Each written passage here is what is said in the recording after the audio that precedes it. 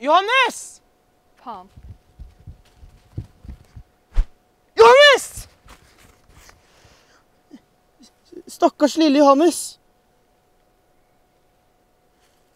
Han er fortsatt varm. Jeg fant ham sånn. Du fant ham varm. Jeg fant ham sånn. Du fant ham sånn. Jeg fant ham sånn. Hvorfor hjalp du han ikke? Jeg fant ham sånn. Han er fortsatt varm. Det var han sikkert også i stad. Fader, ass! Det er en havabbor. Du tok han. Du fant han ikke. Det var du som gjorde han sånn. Sånn som dette. Det var deg.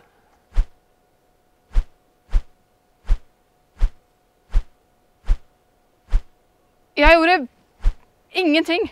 Johannes! Han kalte deg tjukk. OK? Petter sier det hele tiden. Ja, Petter kalte deg tjukk, og derfor er det fisken som ligger her dau. Det er ikke en fisk. Det er Johannes. Det var Johannes. Jeg tålte det ikke så godt som jeg burde, men nå er vi i hvert fall kvitt den. Man kverker jo ikke fisk fordi de kaller deg tjukk. Det var ikke meg han kalte tjukk. Han sa at du var det. Så derfor? Ikke bruk tid på det. Men hva med Johannes? Han var en kødd. Du er ikke tjukk.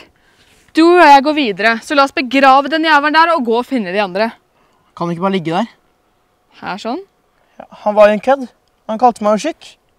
Ja, men han burde vel få ligge en plass. Han ligger fint her i møkka. Fuck han. For en kødd. Vi går og finner de andre.